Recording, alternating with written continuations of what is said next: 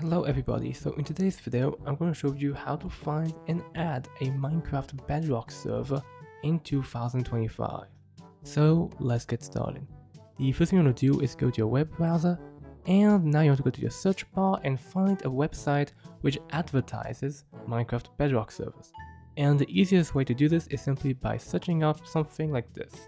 Minecraft Bedrock servers with an S. This will just give you a bunch of websites which lists Minecraft servers. So that's the easiest way of getting it.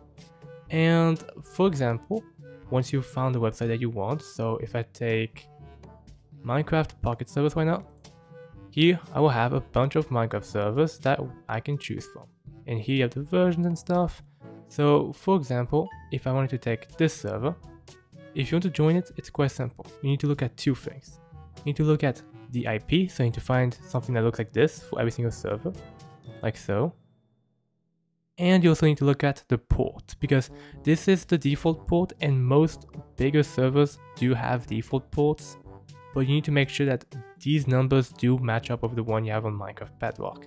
So for example, if I want to join the top one, what I want to do here is simply open up Minecraft Bedrock, because you need to have access to the join Minecraft server button, and to access this button is quite simple. Once you're on Bedrock, all you want to do is simply go on play, and then you want to go on servers. And then when you're here, basically what you want to do is simply scroll down. You can do this like this, or use a little scroll line here. And you'll find a something here that says add server. So make sure once you're here to scroll down and you can click add server. Now you will have these things. What you want to do here is simply give it a name. It can be anything. I'll just do anything. You can really do anything you want there. And these are the important ones. So server address and port.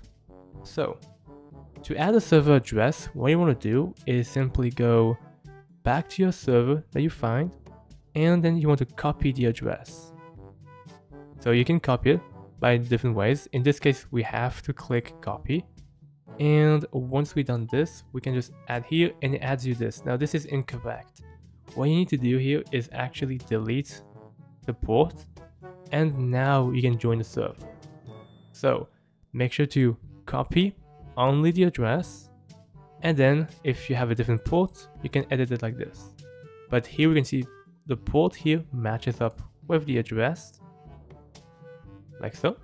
So that means we can just do save and we'll have the server right here.